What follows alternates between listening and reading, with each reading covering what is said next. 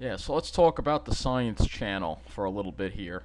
Um, they're owned by Discovery Incorporated, um, and Science Channel just where is the science? So um, Unearthed, that's archaeology. Uh, Forbidden History, that's archaeology. Mysteries of the Abandoned, that's sort of archaeology too.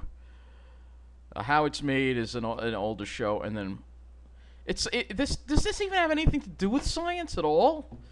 I mean, what is going on with the Science Channel? We look at the schedule here. We'll look at the schedule here.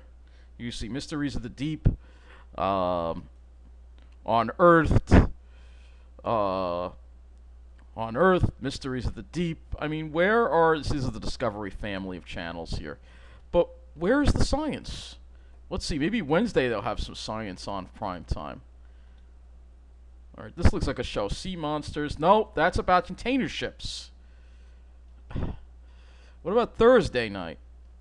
All right, strange evidence. That is a science show. But seriously, they to, they don't have any shows on astronomy or. I mean, they used to have like like shows on science. Now it's all archaeology based, history.